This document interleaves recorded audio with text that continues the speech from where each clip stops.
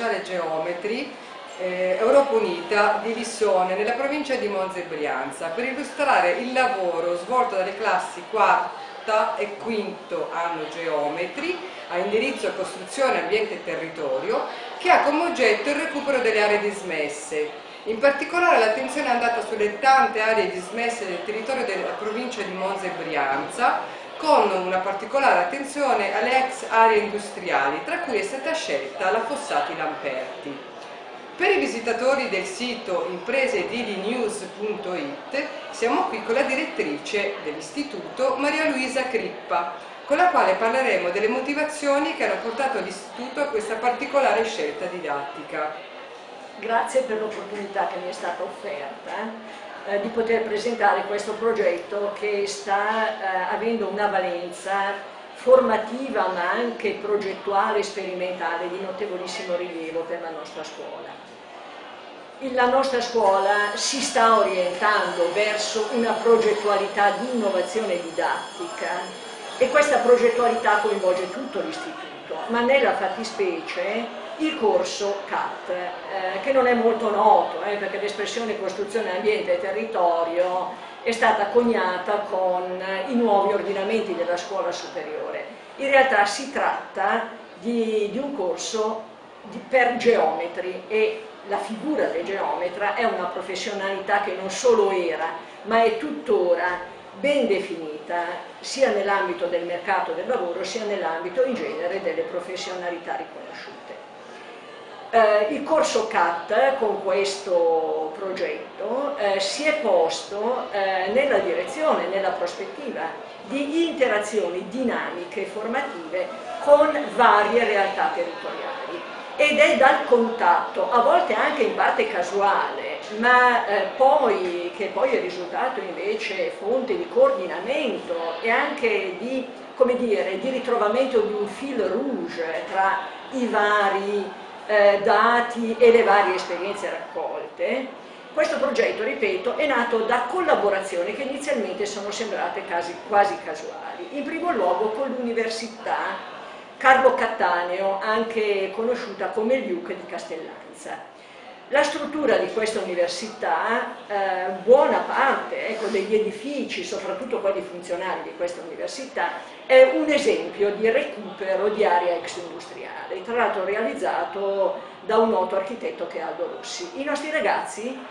eh, su invito della stessa università e a fronte di collaborazioni già espresse precedentemente con questa istituzione, i nostri studenti hanno effettuato uno stage, uno stage di due giorni nell'autunno del, dello scorso anno, nell'autunno del 2014, in cui hanno incontrato personalità di rilievo del settore,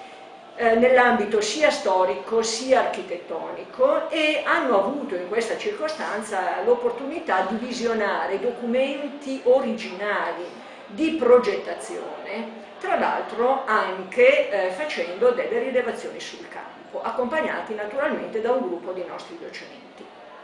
E poi subentrato un'ulteriore attività. L'attività è eh, stata proposta da un, da un, sindacato attivo nel territorio, il sindacato pensionati che è legato alla CGL di Monza Brianza, eh, un progetto che ha avuto come titolo Memoria, Lavoro e Territorio. Ecco, tramite un docente dell'indirizzo abbiamo avuto la possibilità, eh, tramite questo progetto, di prendere contatto e anche di mettere in atto delle azioni di riscoperta della tradizione industriale e eh, della cultura del lavoro del territorio di Monza eh, tramite questo canale è stato possibile per i nostri docenti e per i nostri studenti insieme accedere a delle aree dismesse, quali la Fossati Lamperti, di cui parlava la dottoressa precedentemente, eh, dove sono state effettuate sul campo operazioni di osservazione e di studio, eh, che sono poi confluite in attività più specifiche e più professionali di progettazione. È intervenuto poi un ulteriore, un ulteriore progetto insieme all'INAIL eh, relativo alla storia, anzi a storie eh, della, eh, della, cultura industriale, con particolare riferimento al problema della sicurezza eh, sul lavoro, eh, progetto che ci ha consentito di avere a scuola, a contatto con i ragazzi, eh, degli esperti e dei testimoni eh, provenienti direttamente dal mondo del lavoro, in alcuni casi anche avendo subito problematiche di sicurezza sul lavoro. È stato un ulteriore tassello che ha consentito ai nostri ragazzi di costituirsi, di farsi un quadro insieme eh, della realtà industriale dal punto di vista storico ma anche dal punto di vista dell'attualità.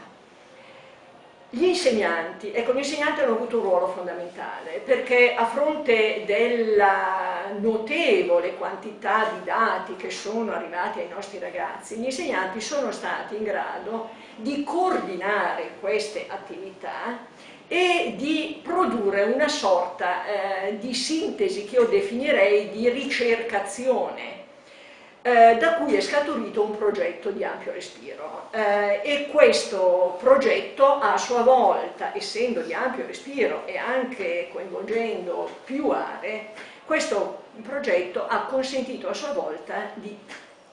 far partecipare più studenti, addirittura tre classi, con ruoli diversi, in alcuni casi più attivi, in alcuni casi meno attivi, comunque tutte le tre classi del triennio eh, del CAT hanno dato una mano a realizzare questo progetto.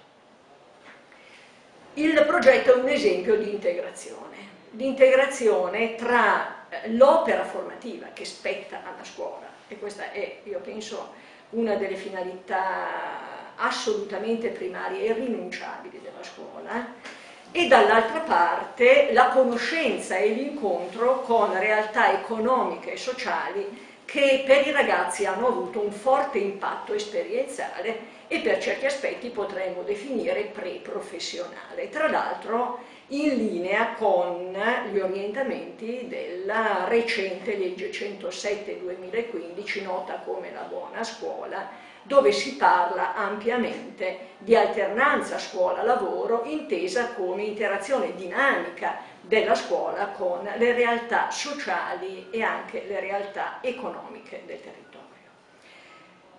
Tale progetto altresì ha avuto una forte valenza orientativa, eh, non soltanto perché ha posto in atto delle azioni, delle interazioni costruttive, delle interazioni anche dialettiche con vari soggetti territoriali, il mondo delle professioni, le università, ma anche perché ha consentito di introdurre nel quadro della didattica nuove metodologie di apprendimento